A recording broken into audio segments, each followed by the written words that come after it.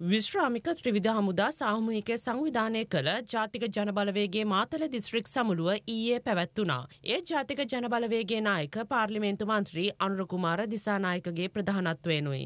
තැමතනම ශාලා ඉතිරින්න බලාපොරොත්තු සහිත ත්‍රිවිධ හමුදා සාමිකේ කණ්ඩායම් අද අපිට සහාය දෙමින් තිබේ. ආණ්ඩුව වැඩිම බය වෙලා තියෙනවා. මා දන්නවා කමල් ගුණරත්න උදේ හවා මේක ගැන කල්පනා කරනවා. මම පාර්ලිමේන්තු ඉදිරියේදී අහන්න ඉතින් ඉන්නවා කමල් ගුණරත්නයි හමුදාපතිවරයයි පහුගියදා නයිජීරියාවට ගියාද නැද්ද කියලා. නයිජීරියාවට ගෙනියන්න ඇවන් ගාඩ්ගේ සබත්තාවයක් තිබුණාද නැද්ද කියලා දැනගන්න ඕන. ඒගොල්ලෝ බලයෙන් අර මත් වෙලා ඊට වඩා කෙනෙක් නෑ වගේ කියලා හිතලා ආරුඩ වෙච්ච මිනිස්සු කණ්ඩායමක් කියලා. ඒගොල්ලෝ හිතුවා ඒගොල්ලෝ පොත් ලියපුවාම සමස්ත හමුදාවම ඒගොල්ලන් එක්ක ඇති කියලා. හැබැයි ලියපු පොත්වලට වඩා පෙරලපු පොත් වැඩි ප්‍රමාණයක් තියෙන බව මේ අය දන්නවා.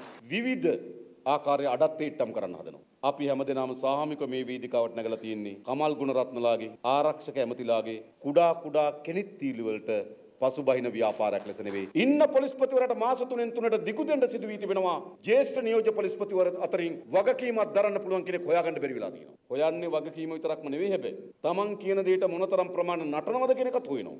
ඒකනේ ප්‍රධාන විෂය හොයන්නේ. විවස්ථානුකූල ගත්තොත් මොකද වෙලා තියෙන්නේ? විවස්ථානුකූල ජනාධිපතිවරයාට වැඩ බලන පොලිස්පතිවරයෙක් පත් කරන්න පුළුවන් සති දෙකකට එහෙත් එක් වතාවක් විතරක්. ඕකයි විවස්ථාව. දැන් අර මාස තුනේ කෑලි දෙක තියෙනව නේද?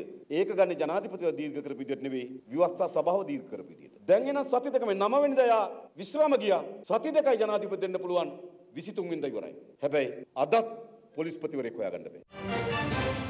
රටේ ලෝකෙ සිදුවන උණුසුම් පුවත් දැනගන්න සියත නිවස් YouTube channel එක අදම subscribe කරන්න.